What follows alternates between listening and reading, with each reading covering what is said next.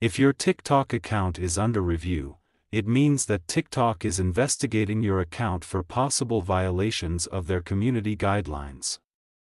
This could be due to a variety of reasons, such as posting content that is hateful, harmful, or dangerous, posting content that is sexually explicit or suggestive, posting content that promotes illegal activities, creating multiple accounts, using bots or automated programs to interact with TikTok, harassing or bullying other users, posting spam or fake content, if your account is under review. You may not be able to post new content, interact with other users, or use some of TikTok's features.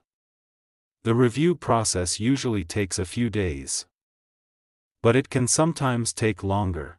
Here are some things you can do if your TikTok account is under review, wait for TikTok to complete their review. This is usually the best course of action.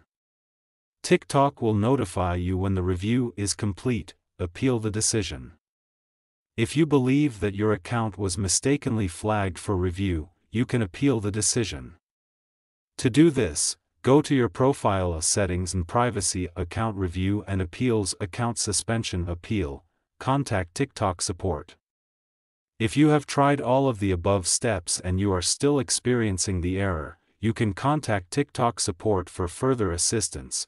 Here are some tips to avoid having your TikTok account flagged for review.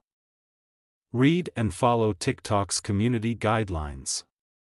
This can help you avoid posting content that is prohibited, be respectful of other users.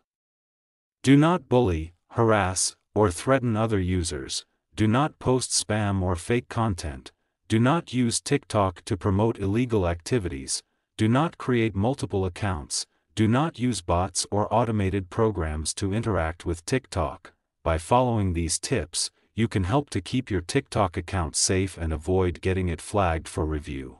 Thank you so much for watching please subscribe Techsore for more videos.